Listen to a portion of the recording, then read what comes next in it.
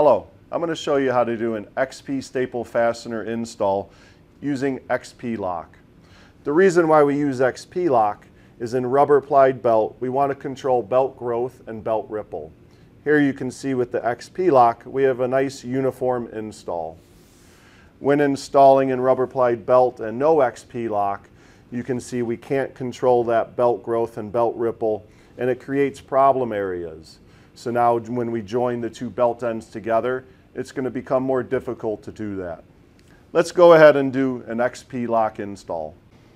Here I've already set up the belt and fasteners as we would a normal install. However, when using XP-LOK, we want to make sure we load the fasteners and belt on the right side of the bed, leaving two to three open H holes, as you see here.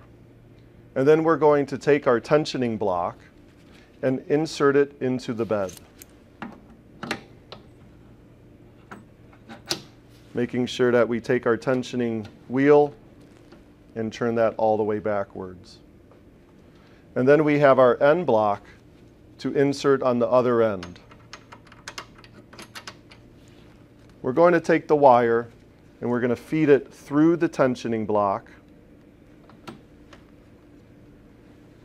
We're going to go over the belt and under the fastener and insert it into the end block. And then we're going to tighten the thumb screws. We're going to hand tighten them, making sure we don't use a tool to tighten that.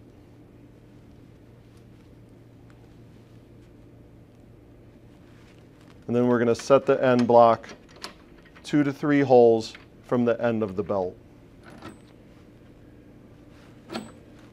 We're going to pull the wire tight onto the belt, making sure the tensioning block wheel is all the way forward, and then we're going to tighten the thumb screws on the tensioning block.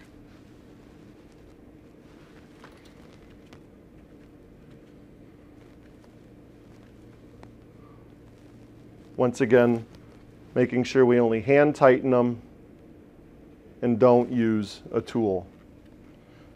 I'm going to make sure the wire is lined up between the staple holes of the fastener and then tension the tensioning block until we feel tension on the wire and we can't turn the wheel anymore. Once again, making sure we don't use a hand tool.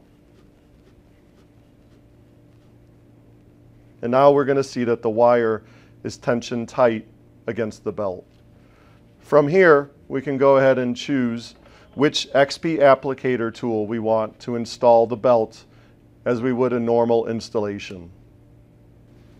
After the installation is complete, we'll use our wire cutters to cut the excess wire on each belt end.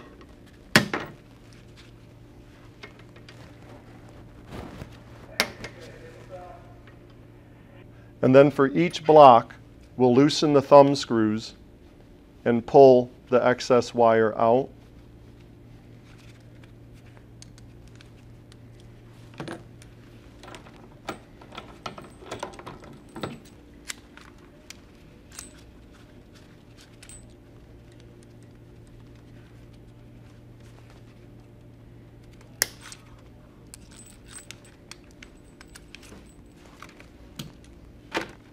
And our installation is complete.